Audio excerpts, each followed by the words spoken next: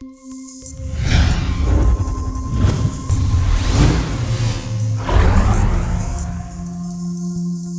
ละครับ มาต่อกันคลิปต่อไปเลยนะครับ คลิปก่อนหน้านี้ก็คือ แล้วได้ first person แล้วก็จะมีกล่องหนึ่งใบ ผมลบไปตะกี้นี้นะฮะ มันจะมีกล่องหนึ่งใบ โอเค คราวนี้เนี่ย เราจะในคลิปเนี่ย ผมจะอธิบายเกี่ยวกับเรื่องสคริปต์ของ Unity นะว่ามันมีการเขียนยังไงในขั้นพื้นฐานนะฮะ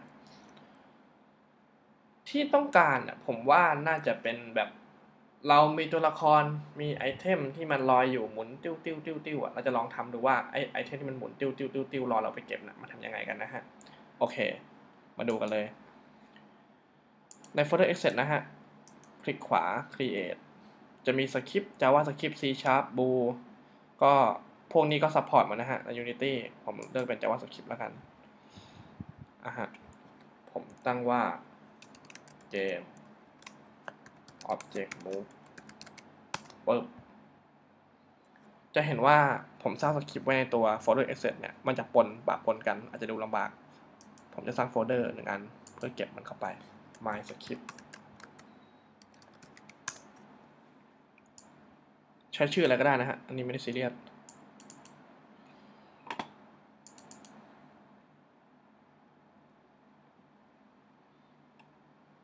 วิธีการประกาศตัวแปรเนี่ยของตัว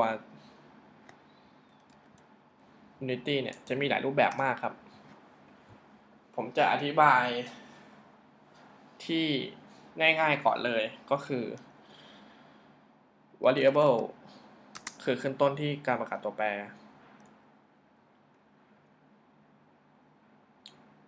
แล้วก็จะเป็นชื่อตัวแปรที่เราต้องการนะครับผม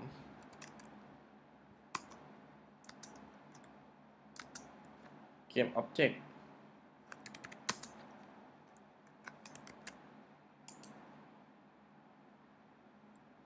ผมใส่อะไรผิดบางอย่าง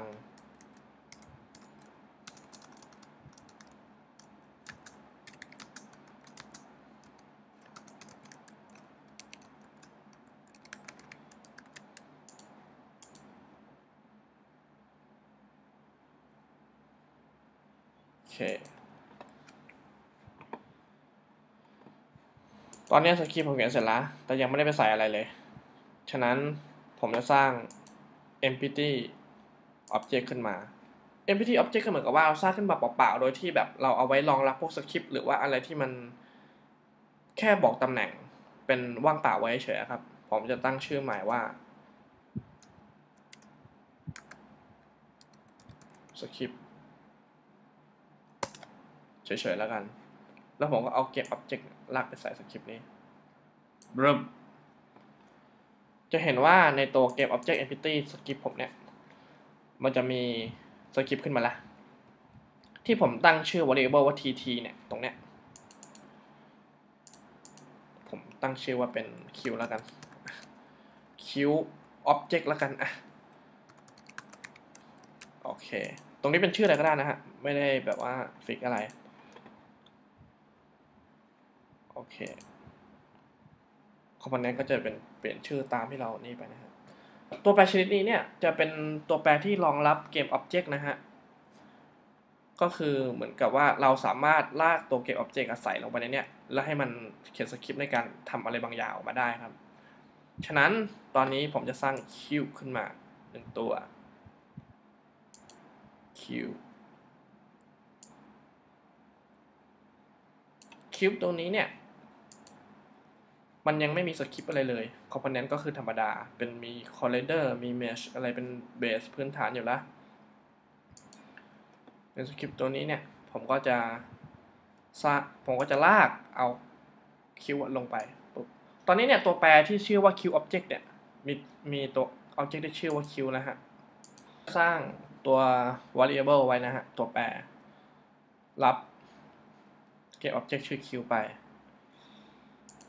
ดสคริปขึ้นมาใหม่นะฮะ ผมจะลอง สร้างตัวแปรเพิ่มเป็น in อะไรก็ได้สักอย่างขึ้นมา นั่นก็คือ my int แล้วบอกชนิดของมัน int นะ integer เท่ากับ1แล้วกัน ลองดู inspector script เห็นไหมครับ มันง่ายอย่างนี้นี่เอง เดี๋ยวจะได้ไปฟังว่าเวลาเราประกาศตัวแปรเนี่ยมันง่ายยังไงแล้วกันนะฮะ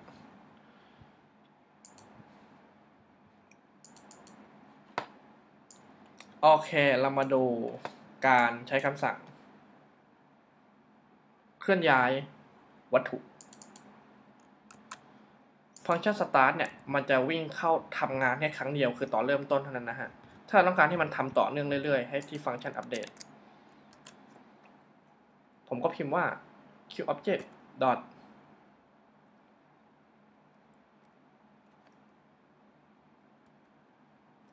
transform dot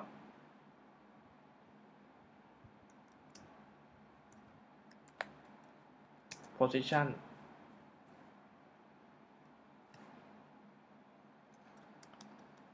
นะฮะ position นี่คือว่าเป็นตำแหน่งปัจจุบัน แต่เราต้องการที่จะให้มันเลื่อนไปทางทิศใดทิศหนึ่ง ผมต้องใช้เป็น translate นึกออกไหมฮะ translate rotate scale นึกออกไหมฮะ โอเค เดี๋ยวค่อยๆไปกันนะฮะ ในการที่เราจะบอกว่าไอ้ตัวเนี้ยถูก translate ไปไหน มันจะต้องมี vector 3 vector 3อธิบายง่ายๆเลย x y z รับค่า 3 ตัว x y z เข้าใจ โอเคท่านั้นผมกลับมาอธิบายแบบให้เห็นเป็นภาพประดี๋ยวว่าเราต้องการให้มันเกิดอะไรขึ้น พร้อมๆกับสคริปต์แล้วกันโอเค ตอนนี้เนี่ยผมต้องการให้กล่องตัวเนี้ยมันมีการหมุนในแกนในแกนหนึ่งผมกด e ขึ้นมาเพื่อจะบอกว่าเฮ้ยมันอยู่ตรงไหนวะอะเราอยู่แกน y นะหมุน ไปทางซ้ายใช่ไหมปึ๊ดปึ๊ดปึ๊ดปึ๊ดสังเกตได้ใน inspector นะฮะเฮ้ย เราอยากให้มันหมุนไปทางนี้ว่ะ อ่า มันเพิ่มขึ้นเรื่อยๆ ฉะนั้นเราก็ต้องสั่งให้แกน y มันเพิ่มขึ้นเรื่อยๆ เพื่อที่จะทำให้มันหมุนตึกตึกตึกตึกตึกไป โอเค วิธีการก็คือ เปิดสคริปต์ขึ้นมา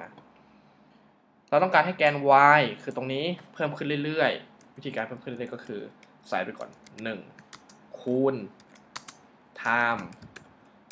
dot delta time delta time เหมือนกับว่ามันจะวิ่งขึ้นเรื่อยๆตามเฟรมเรทประมาณนั้นนะฮะถ้าที่ผมเข้าใจ เอาเป็นว่ามันจะเพิ่มขึ้นเรื่อยๆแล้วกัน คราวนี้ลองรันดูว่าจะเกิดผลอย่างไร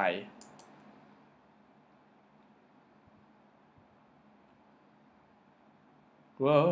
เออเอ้ย ลืมลืมลืมโง่จริงๆเลย มันทัสเลตไม่ใช่โรเทตอะอายอาย อเคครับ เราเปลี่ยนจากทัสเลตเป็นโรเทตเพราะว่าเราต้องการหมุน ไม่ใช่การเคลื่อนย้ายละเมอตด โอเคครับ เอาใหม่ run เฮ้ย ค่อยๆหมุนอะช้าจังเลยอะเพราะอะไรอะ delta time จะขึ้นมาช้ามากครับ แบบว่ากว่าจะหนึ่งเนี่ยมันก็แบบว่าใช้เวลาหลายวินาทีหลายวินาทีเหมือนกันกว่าจะแบบว่าขึ้นมาเป็นหนึ่งซึ่งมันคูณตัวคูณน้อยมันก็ทวีคูณน้อยอะครับประมาณนั้นโอเค แต่อย่างน้อยมันมูฟแล้วเออเขายังชั่วหน่อยถ้าหากว่าอยากเปลี่ยนให้มันเปลี่ยนเป็นแบบว่าเลื่อนไปทางซ้ายเลื่อนไปทางขวา ก็เปลี่ยนเป็นทาสเลตครับอย่างที่ผมทำผิดพลาดเมื่อกี้อะฮะทาสเลตผมต้องการเลื่อนไปทางซ้ายใช่ไหมผมก็เอาตัวเนี้ยไปคูณ กับตัวแกน x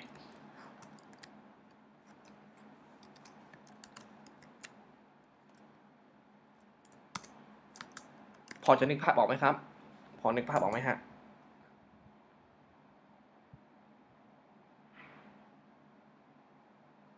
หายไปไหนลอยได้ มันก็จะเพิ่มไปทางแกน x นะครับ เพิ่มขึ้นเรื่อยๆ คล้ายๆเหมือนกับเราลากมันไปครับ แต่มันค่อยๆ ลากไปโดยใช้ค่าที่เพิ่มขึ้น ประมาณนี้นะฮะ น่าจะเข้าใจกันแล้วแหละผมว่าชัวร์กด Ctrl Z กลับไป ตอนที่มันโรเตทเหมือนเดิม โอเค คราวนี้เนี่ย เราสร้างตัวแปร my in ไว้เนี่ย ขึ้นมา ยังไม่ได้ใช้มันเลยอะ่ะ เอามันมาใช้ซะ โดยการแทนที่ delta time ซะ มันดียังไง มาดูกัน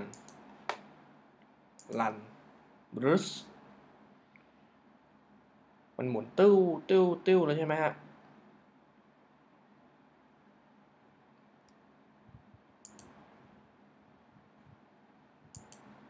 โอเค เราต้องการเพิ่มความเร็วมัน เดี๋ยวโอเค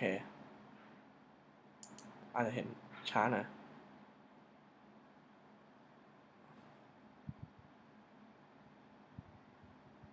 มันจะหมุนติวติวติวอย่างนี้ ถ้าเราเพิ่มความเร็ว เปลี่ยนค่าตรงนี้เป็น 20 โบมันจะเกิดอะไรขึ้นครับ มันก็เหมือนกับว่าเอาการหมุนเนะ่ยแทนที่จะคูณ 1 หรือคูณ 10เนี่ยไปเป็นคูณ 20 เลย มันจะหมุนเร็วขึ้นมากหูติ้วเลยโอเค ผมเปลี่ยนเป็น 10 พอ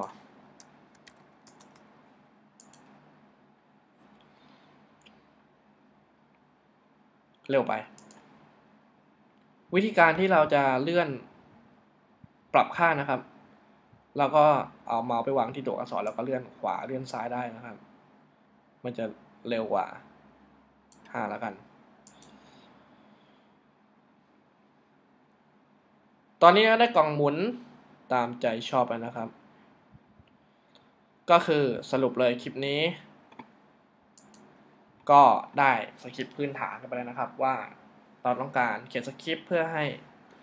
ตัวเกม Object ที่เราต้องการเนี่ยมันหมุน หรือว่ามันเคลื่อนย้ายยังไงนะครับ ก็คลิปต่อไปจะเป็นการอธิบายการเข้าไปเก็บไอเทมพอเราไป แตะมันปุ๊บมันต้องมันก็ต้องหายไป แต่ปุ๊บปุ๊บหายไปนะครับในคลิปต่อไปขอบคุณมากครับ